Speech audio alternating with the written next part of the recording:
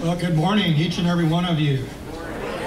Ah, I like that. We're really glad you're here today. We know that uh, most of you have come to offer joy and uh, appreciation and gratitude to the Lord, to come and worship Him.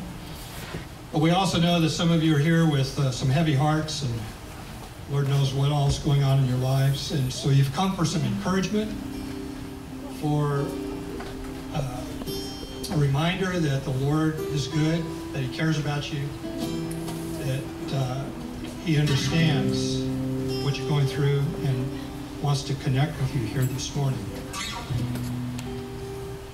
In Psalm 63, uh, the writer says, So I have looked for you in the sanctuary to see your power and your glory, because your loving kindness is better than life.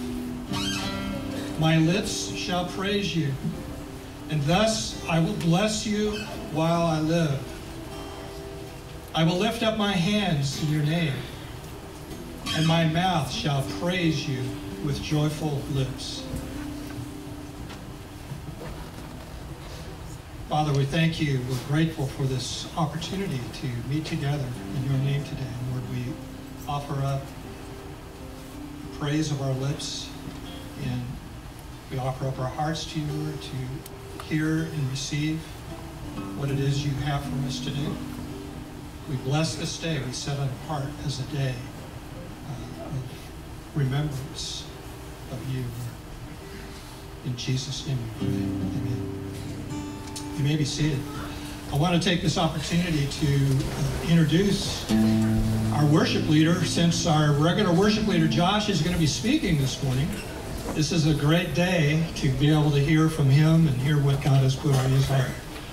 Uh, but uh, in order for for that to, to be easier for him to facilitate that, he's invited uh, John Ship and John's wife Teresa and their son Ian playing bass. Josh and I have both known John for, in my case, probably 15 years, and Josh nearly that long, and been had, had the uh, privilege of playing music with him and worshiping the Lord with him over the years.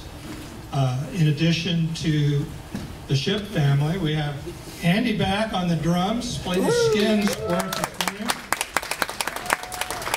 and of course Brad Stratemeyer over on the guitar. And my name's Larry. I'm the I'm one of the boys in the band. So worship with us.